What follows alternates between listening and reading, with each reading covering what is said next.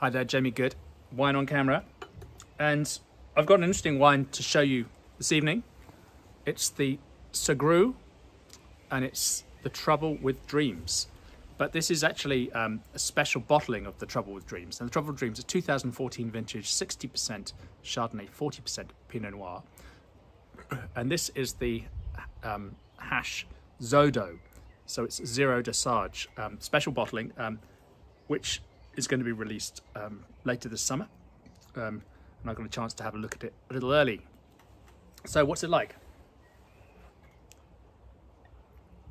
And many of you probably have heard of Dermot Sugrue, who's um, one of the most well-known winemakers in the English sparkling wine scene.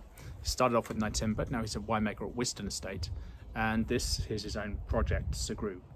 And um, yeah, so zero dosage, it's apparently 1.6 grams a litre of, of, sugar, but then that's the sugar that's left over from fermentation that isn't, you know, the, the unfermentable sugars. So what you've got to remember is that dosage is not exactly the same as residual sugar because the actual residual sugar will be higher than the dosage usually.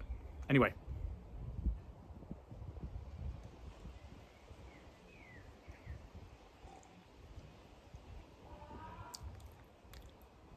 you know, what's really interesting here is that yeah, the acidity is high, but it's not pronounced.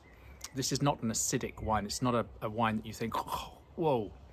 Um, it's not austere at all. The, the, acidity integrates nicely into the rest of the wine. Um, it's got um, a little bit of depth here. It's got citrus fruit drive, but it's also got some sort of apple and pear richness. Remember, this has spent um, four years and a bit on the lees before disgorgement. I think this wine was disgorged a couple of months ago, so it's been two months on the cork after quite a lengthy time on lees.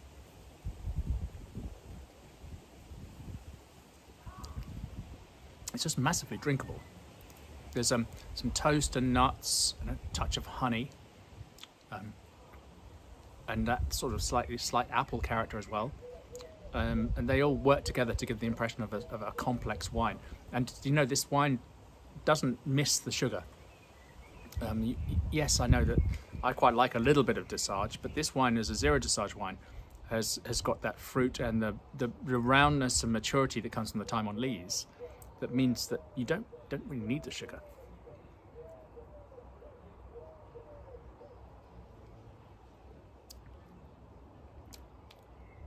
It's really um, a lovely wine.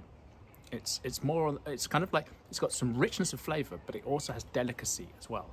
Um, and the delicate sort of acid line that just um, you know frames everything beautifully uh, gives us a, a, sort of sense of lightness even though there's some rich flavors as well.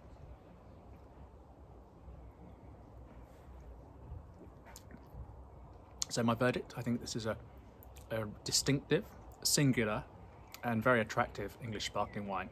And um, it's really interesting to see um, you know an zero dosage wine from a country where acidity is normally a problem and needs some balance from the sugar. This wine I don't think needs that. Really nice. Thanks for watching.